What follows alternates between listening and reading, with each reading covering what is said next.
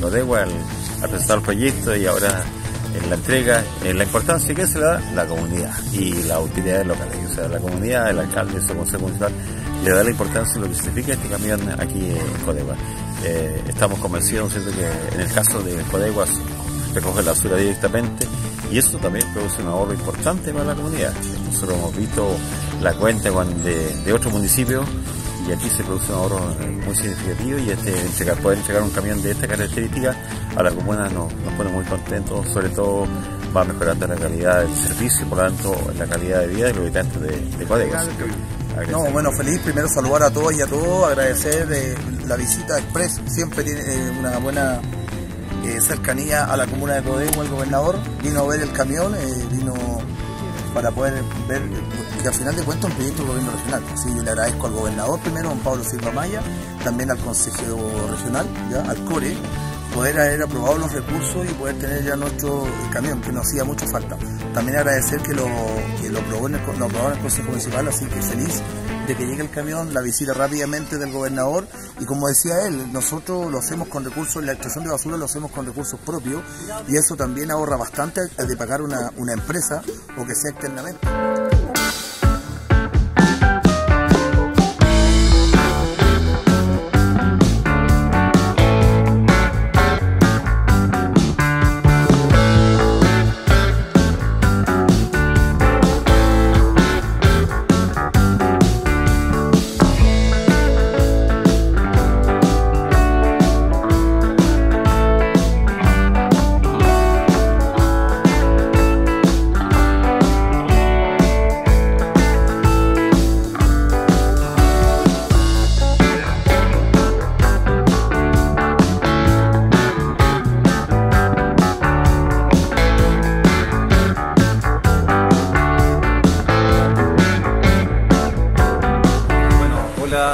Tardes a todos. Eh, en este minuto estamos desarrollando el diagnóstico participativo de discapacidad.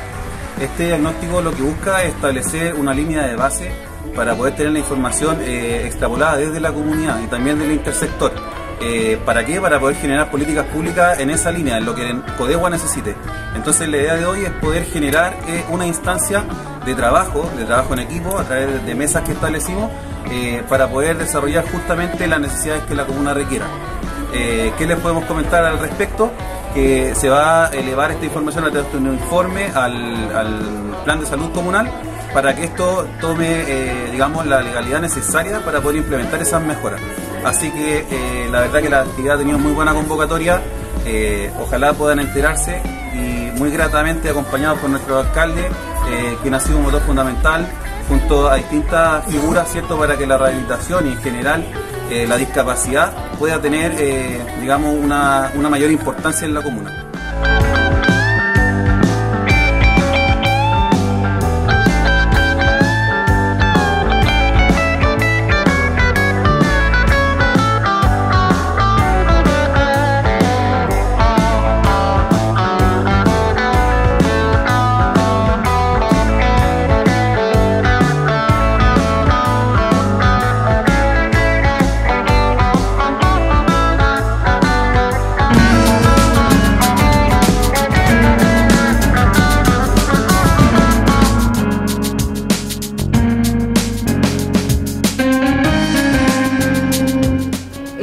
Cuenta con una de las mayores cantidades de usuarios a nivel regional.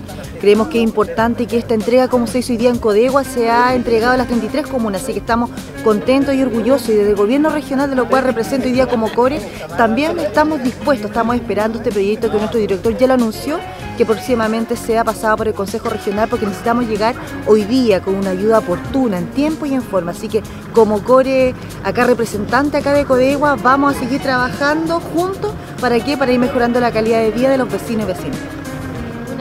Que viene obviamente a complementar lo que ya se ha estado trabajando con el equipo de Prodesal. Eh, decirles que el equipo de Prodesal es uno de los mejores de la región que tiene una mayor cantidad de usuarios.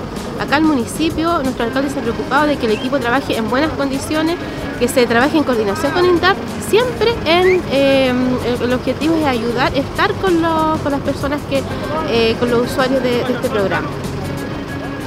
Sí, bueno, estamos, muy contentos eh, después de haber sufrido una catástrofe como la que nos afectó eh, hace un par de días atrás, de poder llegar con esta ayuda a estos pequeños eh, crianceros.